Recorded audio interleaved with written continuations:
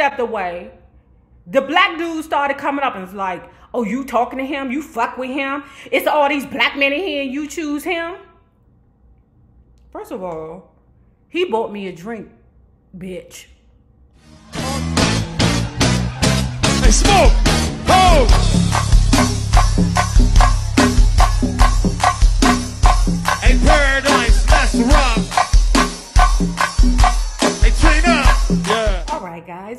We get started, please like and share this video because it is so important to my success here on the YouTube. Now, let's talk about red lips.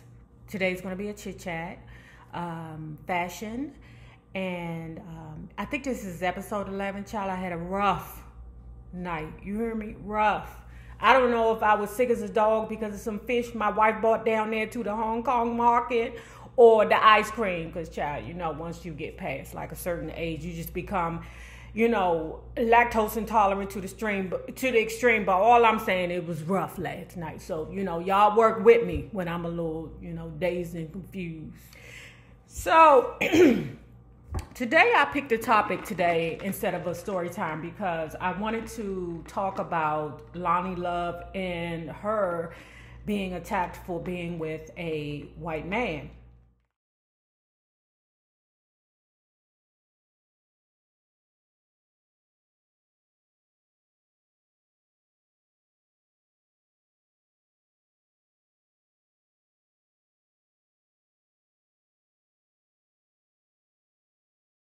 So today, what I'm not going to do is I'm not going to put a um, foundation on today because I burnt my skin up. Like sometimes when I'm just cleaning up my eyebrows a bit, I'll put like some Nair up here and down there and child. Look, I done burnt my skin all up and now it's all bloody and everything, child. But anyway, I'm not gonna put no foundation on because I don't need nothing irritating it, you know. Even though y'all tell me I have good skin. It's very sensitive, okay? But um and if you don't know, I'm going to uh, put in the subtitles what I'm using. So, at any rate, what is going on is that Lonnie Love is being bashed because of her choice to be with a white male. Okay?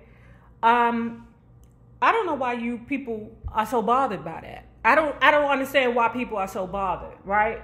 And I know I'm about to piss people off, but I'm about to give you my truth, you know, because people be like, I'm telling y'all the truth. No, you telling your truth, motherfucker. Your truth ain't everybody's truth. Let me do this. I'm going to give the same response about this situation with Lonnie Love that I would give to the situation when it comes down to black men dating white women and all that outrage, you know, black women be all up in the hizzy and the tizzy. And I know y'all be like, nay, you can't even talk.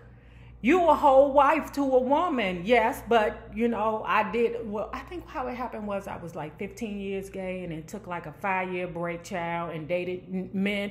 And then before I even started, I was dating men like when I was a teenager. So, you know, I, I most of my experience come from women but I'm not stupid. You know, like I told y'all, I was a PO for years, so I have a lot of interaction with different men, different kinds of men's child, seeing all that bullshit they be with and all that other stuff, right? Ladies, real talk. Do you want that nigga?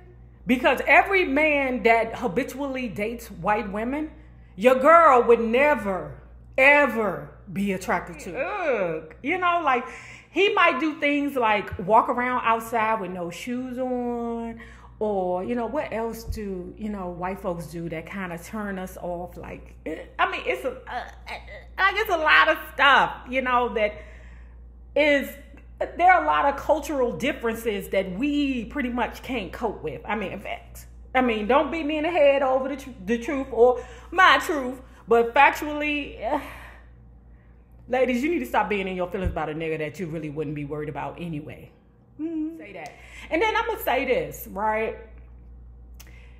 It was a couple on YouTube that just broke up, and the name was Jamie is and Nikki.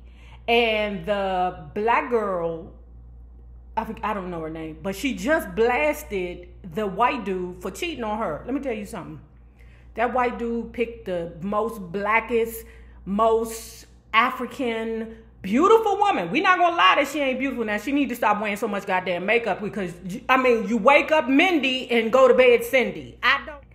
But in that situation, I got kind of like a a certain kind of feeling about him because I was like, he doesn't seem like a white guy that is genuinely like loving a black woman.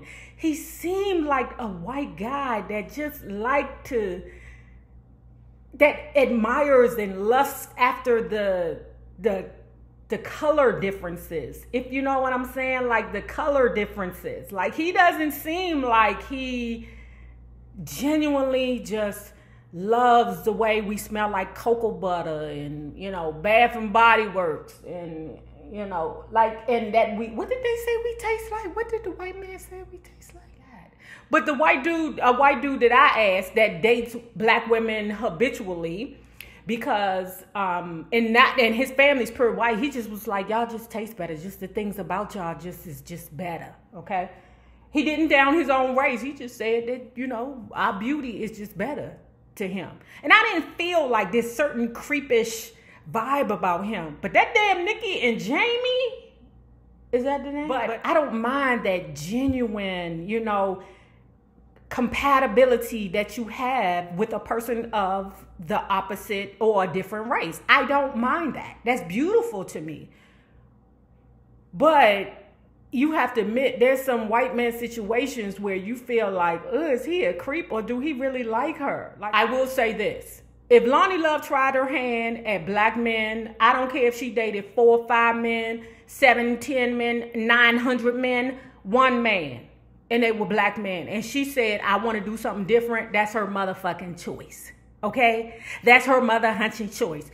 She can date whoever and whatever she wanted to date. And you know what's crazy to me? One time I was out um, at a bar. I forget the name of the bar. It was somewhere in Fort Washington. Was it? What was the name of the bar? I don't know.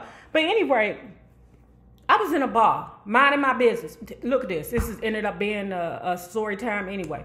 But I was at a bar, minding my business, okay? And a white dude came up and was talking to me.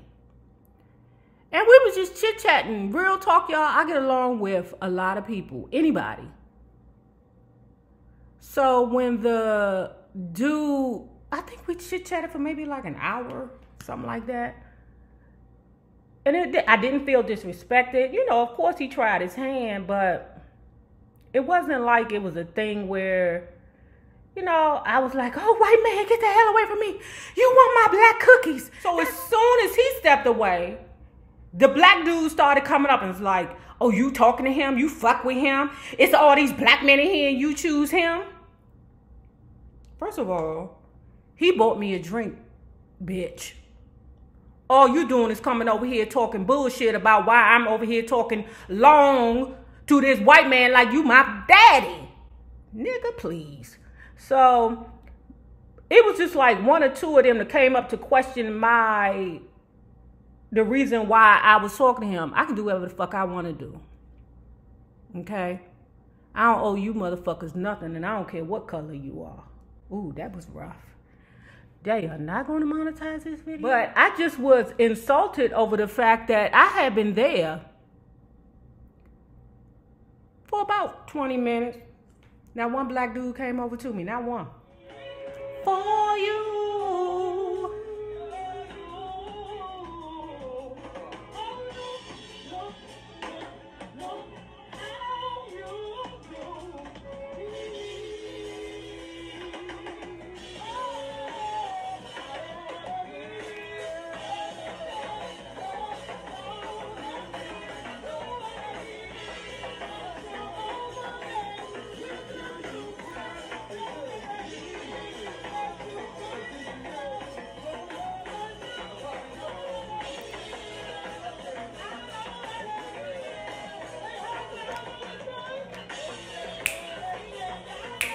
Okay, guys, if you have not already done so, please like and share this video because it is so important to my success here on the YouTube. Now, remember this.